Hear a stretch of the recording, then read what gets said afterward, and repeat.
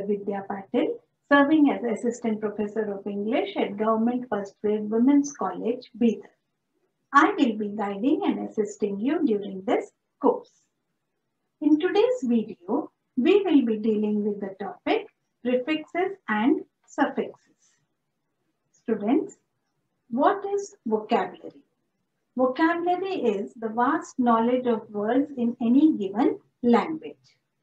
So, if you want to be good at any particular language, if you want to have a fluency in a language, then it is very necessary that you develop an extensive vocabulary in that language.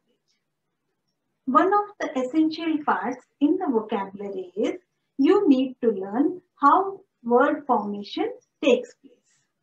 From one root word, many different types of words can be formed. And one of the easiest way to form these words is by either adding a prefix or a suffix to the root word. Now, what are these prefixes and suffixes and how they can be added in order to form new words is what we'll understand in today's video. So students, let us now begin with today's video. Today's topic is prefixes and suffixes. The group of letters which we attach before the root word are called as prefixes and the group of letters which are placed after the root word are known as suffixes. Let us try to know more about these in today's video. Now, first understand what are prefixes. A prefix is a group of letters which is placed before the root word. It is this letter or group of letters which helps uh, or which is usually added at the beginning of a word in order to form a new word. Prefixes change the meaning of the words and some of the most common prefixes which we use are un, un and re, re. So these are the most common prefixes which are used in English language. See on your screen some of the commonly used prefixes with their meanings and examples. Now, I'll just read out a few of the common ones which are used on, on a day-to-day -day basis. DE, that is the prefix DE, which means down, reverse, opposite, and the examples are decode, decrease. DIS is another prefix which again may, means not or forms the opposite. For example, disagree, disappear.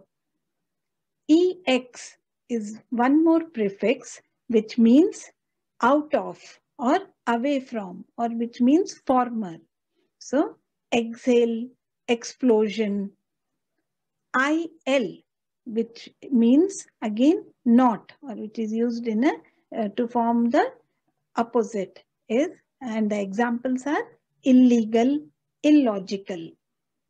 I am which again means without so it form helps to form the opposite words.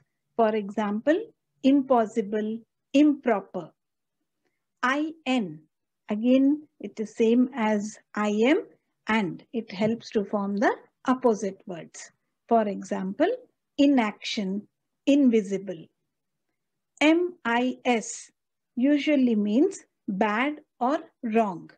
The examples here are mislead, misplace.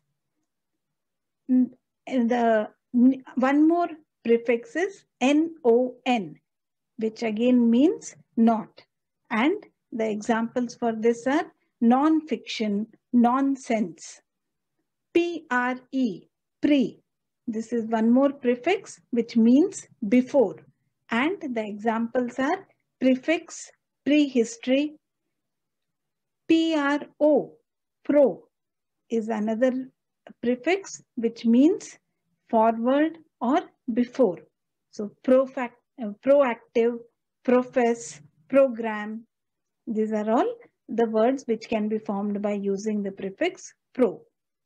Re, as I have already explained to you before, which means again. So react, regain, reappear, repay. UN, which again is used to form the opposite form of the root word. So, undo, unequal, unusual, unhappy. These are some of the commonly used prefixes which we can find. Now there are certain basic rules which you need to remember whenever you are using prefixes. Please note that different prefixes in the English language can have the same meaning. Just now we have seen a list of the commonly used prefixes. You would have noticed that many of the prefixes have the same meaning. For example, UN and IN, both these prefixes mean not or none. Also, they help to form the opposite forms of the root verbs. The another set of prefixes such as MIS, miss and IR, both mean wrong or incorrect. So, in this way, there may be many prefixes which have the same meaning and uh, serve the same purpose. But each root word has to be attached with a particular prefix. Also notice that at many times when we are using prefixes, there may be double letters which happen to come across in the spellings of the new word which is formed. For example, you can see on your screens, when we add un to natural, it becomes unnatural where n is repeated two times. When we add IR to rational, it becomes irrational where the letter R is repeated twice. When we add MIS to spell, it becomes misspell and the letter S is repeated twice. Also, we find that wherever we add UN to the word which begins with the letter N, then it becomes unnoticeable. So when we add UN to notice or noticeable, it becomes unnoticeable. So this is true for many other prefixes also. Another thing which we should notice whenever we are using prefixes is that when we add a prefix to a word, the spelling of the root word does not change. For example, when we add UN to happy, it remains the new word which is formed is unhappy, but the spelling of the root word happy continues to remain the same. So no matter which prefix you attach to the root word, the spelling of the root word never changes. This is one basic rule which you need to remember. Another example which we have taken up was uh, relive. In the word relive, when we add RE to the root word live, the spelling of the root word does not change. Also, we should be careful about lookalikes.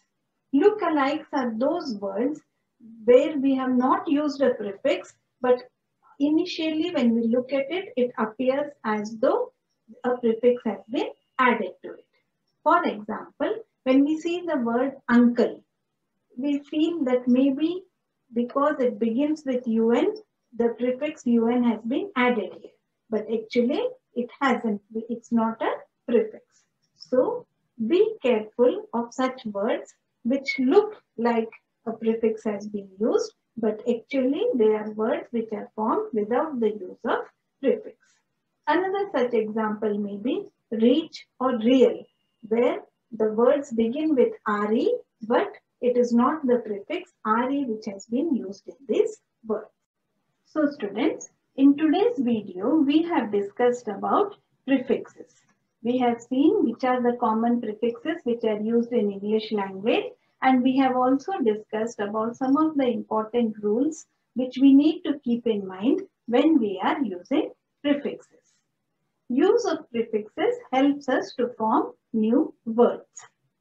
In the next video, we will try to understand what are suffixes and how they need to be added to the root word in order to form new words. I hope you like this video.